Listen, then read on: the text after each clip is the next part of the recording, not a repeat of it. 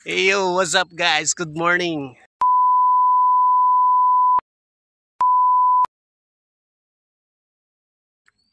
Hey yo, what's up guys? Good morning. Ah, papunta na muna ako ngayon sa isla. Magta-travel muna ako. Kahapon doon ako pumunta sa Barangay Gaos. Ngayon naman sa isa na namang isla sa ah, part ng Pitugo rin. Tsaka pangalan ng isla na pupuntahan ko ay Isla Patima. Ayan, nandito na ako sa dagat kasi napaka tawag dito sa amin yung pinakahunas in Bisaya in Bisaya term. Ito yung mga yan, medyo malayo pa yung lalakaran ko. Papunta doon sa bangka na sasakyan ko papuntang Patima. Ah, travel muna mga guys.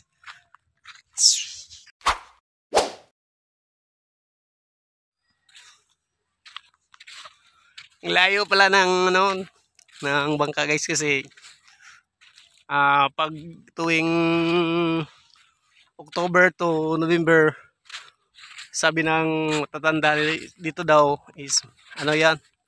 Ah yung anong tawag doon? Yung hunas na pinakamalayo di ko ma-explain din kasi sa mga ano yan? Sabi-sabi ng mga matatanda lang.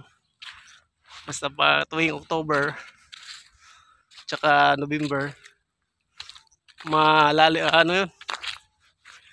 Yung hunas pinaka malayo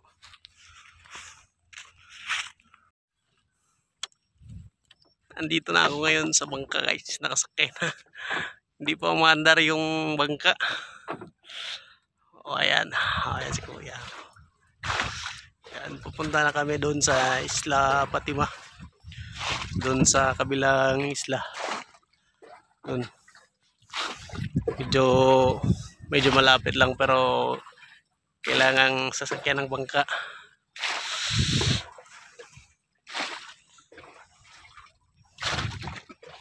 Yan si kuya. Yan yung driver ng bangka